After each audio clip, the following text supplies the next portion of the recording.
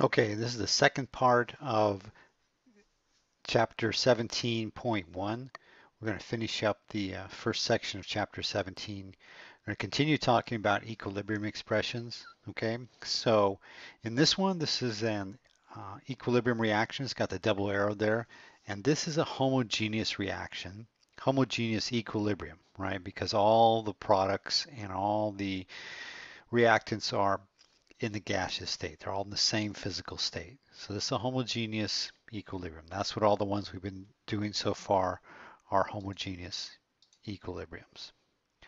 When it has a heterogeneous equilibrium is when, when there's more than one physical state. Okay, so we have a picture here of this ethanol enclosed in this uh, stoppered bottle and they blew up the uh, interface here between the vapor and the liquid you can see there's an equilibrium reaction going on here where the liquid is vaporizing and turning into uh, gas and the gas is condensing and turning to liquid. So this is at an equilibrium as many things, many molecules are turning into vapor as are turning into liquid. Okay, so that's what's represented here in this equation. Heterogeneous equilibrium, two different states, a liquid and a gas.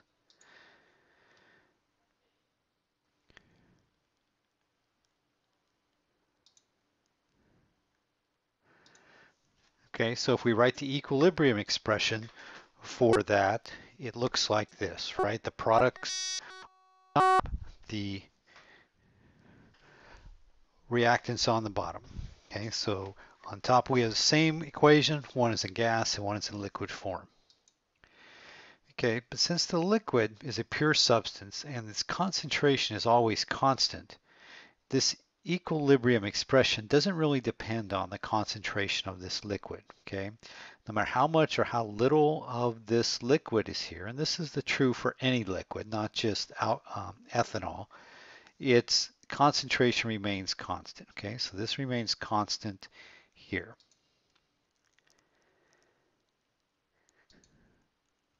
So that means we can eliminate that liquid from the uh, concentration. So the liquid concentration can be eliminated because it doesn't have any effect on the equilibrium. Okay, so that concentration of that is always the constant. So we're going to e we're going to eliminate it from the equilibrium expression. So for that equilibrium for the ethanol is going to look like this. It's just the gas.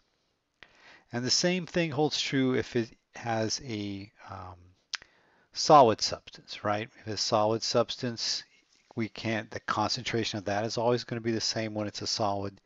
And using the same logic that we used, the solid concentration doesn't affect the equilibrium, so we can eliminate it from the expression. So this one goes to, instead of just being uh, the gas over the solid, we just say the equilibrium expression equals the um, concentration of the gas.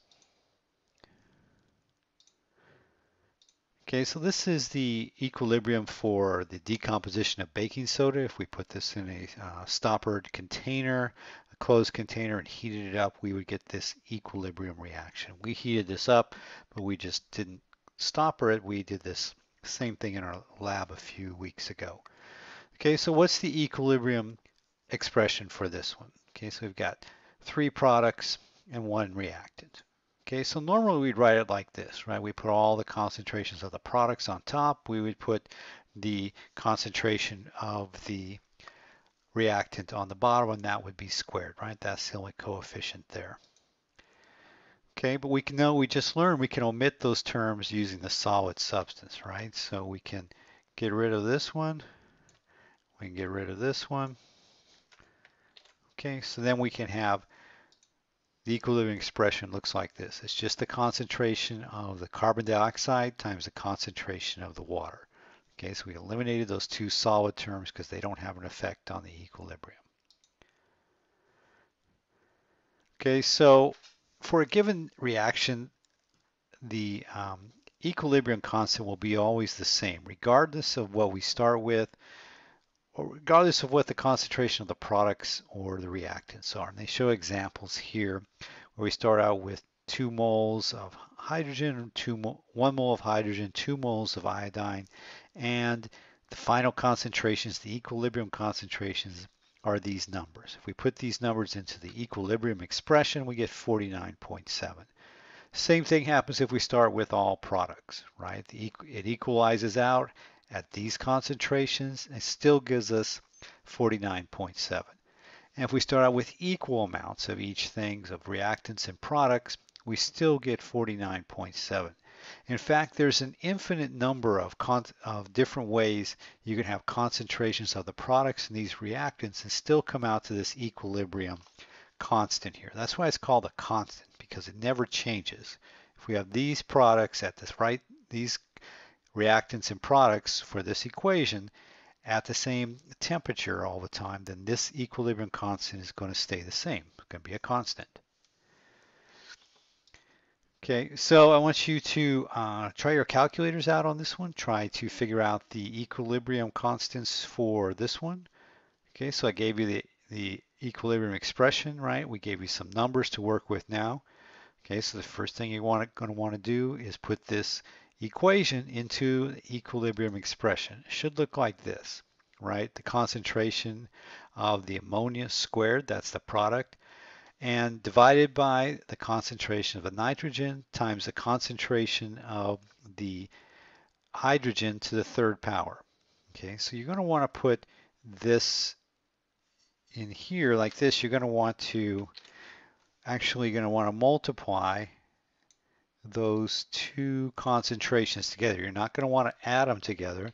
You're going to want to multiply these two together. So this number divided by these two, this concentration times this concentration to the third power.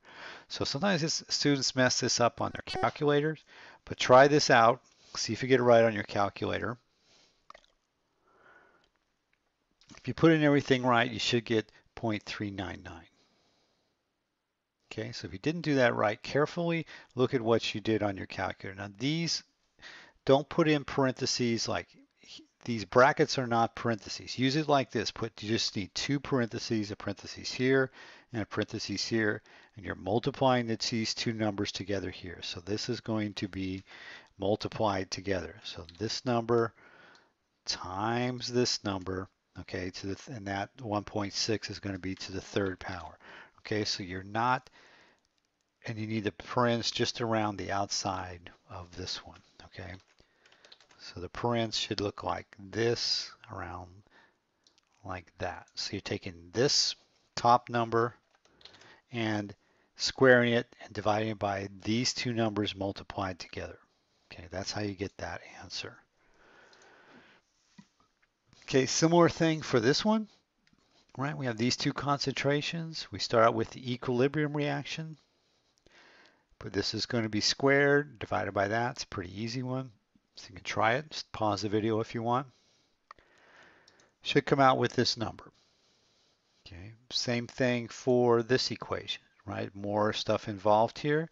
Two products, two reactants. We create the react equilibrium reaction, we put these two concentrations on top. They're not added together, they're multiplied together, right? So this number times this number divided by this number and times the hydrogen to the third power. Okay, so if you do everything right, you should get this 3.39. Okay, so that's it for this video. Um, answer the questions below, and I'll see you guys in class tomorrow.